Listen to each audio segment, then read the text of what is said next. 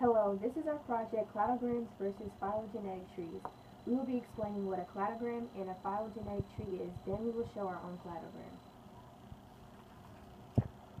The eight levels of classification are the domain, kingdom, phylum, class, order, family, genus, and species. If the same species is shared, then the same genus, family, order, class, phylum, kingdom, and domain is shared. The same genus is shared, then the same family, order, class, phylum, kingdom, and domain is shared, and so on and so forth. And ex the example species I use is a lion. The domain of the lion is the Eukaryota. Kingdom is an Animalia. The phylum is Chordata. Class is Mammalia. Order is Carnivora. Family is Fel Felidae. Genus is Panthera, and species is Leo. A cladogram is a diagram that groups items together based on the number of common characteristics.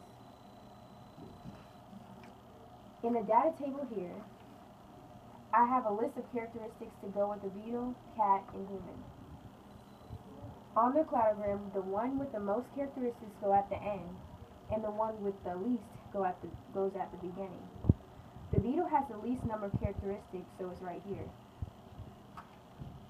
Therefore, oh, therefore it's at the beginning. At this notch, the heterotroph goes here because everyone is a heterotroph. Then at the next notch, we have the four limbs. Cats and humans have four limbs. The, the human only has a thumb, so it goes at the end.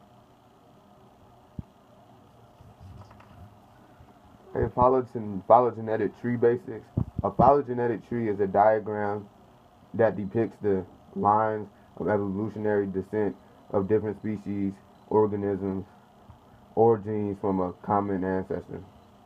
The difference between a phylogenetic tree and a cladogram is that the length of branches in phylogenetic trees represents the time in which a number of character changes from ancestor to new species took place. In a cladogram, branch length has no relevance in time. And as you can see, I made an example um, phylogenetic tree. The shark has a vertebrae. The trout has a bony skeleton and a vertebrae.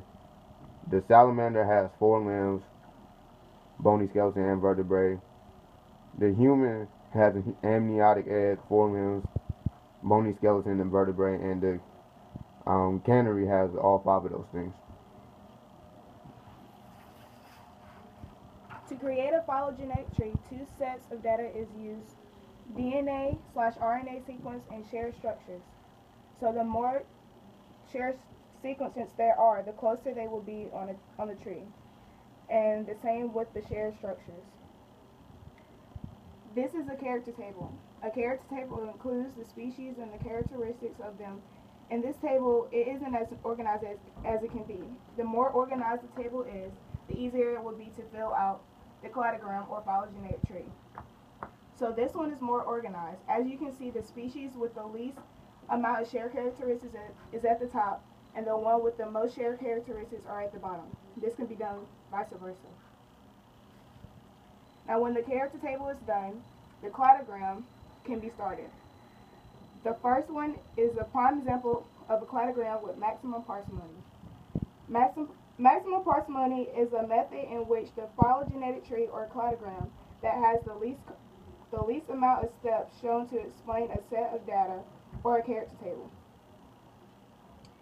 These two cladograms aren't preferred over the first because the notches, these things right here, the notches that indicate the shared characteristics, when the notches are above,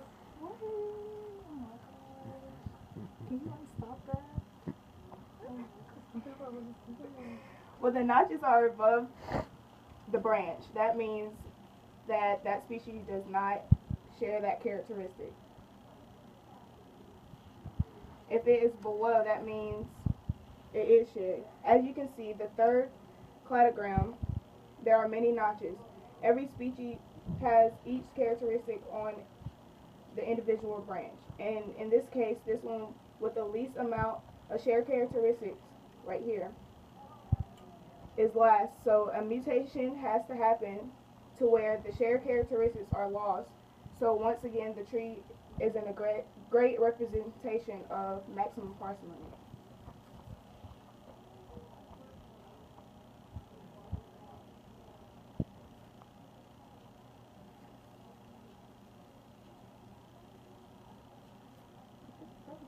I think I didn't.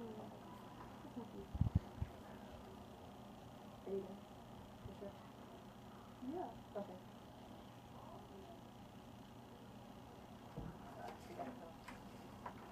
You gotta go. I felt that I was like, you just stopped it. I don't know why I thought I mixed up.